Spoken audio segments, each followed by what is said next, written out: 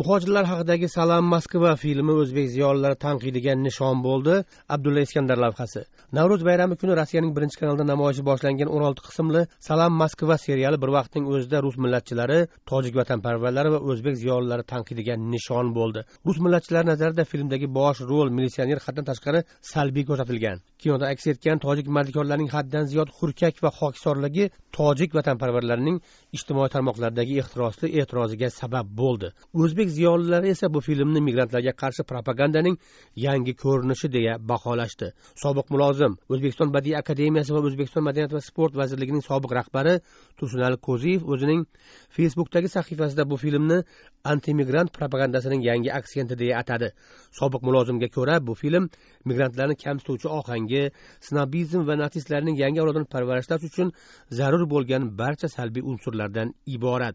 O'zbekistonlik kinodramaturg va rejissyor mastura ishoqova ham ijtimoiy tarmoqda bu filmni tanqid qildi. Kim haqida bo'lishidan qat'iy nazar bu kinoni tomosha qilib bo'lmaydi. Qo'pol natural va ko'ngilni ozdiradigan darajada jirkanch deya ta'kidlaydi ishoqova.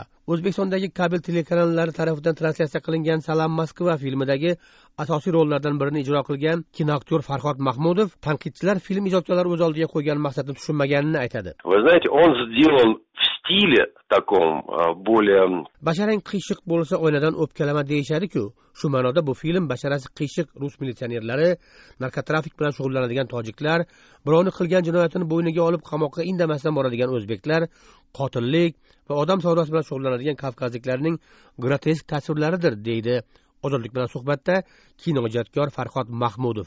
Suhbatdoshga ko'ra taniqli rejissyor pavel bardin tarafidan ikki ming o'n ikkinchi yili suratga olingan salam moskva filmi rossiya senzurasi elagidan o'tolmasdan to'rt yildan ziyod tochirayotgan этот фильм он показывает негативную сторону бытия. Birinchi kanal rahbari konstantin ernest bu filmga prodyuserlik qilgan bo'lsa ham namoyish qilish izni olingunicha to'rt yil o'tdi. Chunki film mohiyatan ksenofobiyani fosh qiladi va migrantlarning ham qo'y og'zidan cho'p olmagan farishta qilib ko'rsatmaydi. Film dokumental kinoga yaqin operatorlik uslubida tasvirga olingani bilan qadrli deydi suhbatdosh. Filmda tojik aktyori sayyora safari bilan birgalikda rol o'ynagan o'ttiz uch yashar o'zbek kamilla muxlisova bu kino ijodkorlarining erkin fikrli ekaniga e'tibor qaratadi. Professionalniy tomoni bilan rejissyor bilan ishlash judayam yengil bo'lgan. Chunki bu rejissyor judayam ozod sizlarni radiolarga o'xshagan. Rossiyada mashhur bo'lgan ottepel moskva oboddan qochish kabi filmlarda rol o'ynab tanilgan kamilla muxlisova fikrlari edi. Film ksenofob bilan musulmonning do'stligi haqidadir chino migrantlar ichidagi jinoyatlarni tekshiradigan maxsus militsiya bo'limi bilan bog'liq sarguzashtlarni hikoya qiladi. Bo'limga taqirbosh ksenofob rebrov rahbarlik qiladi. Bo'limda malaka oshirayotgan avar millatiga mansub stajyor rustam esa ro'za tutib namozini kanda qilmaydigan mo'min musulmon.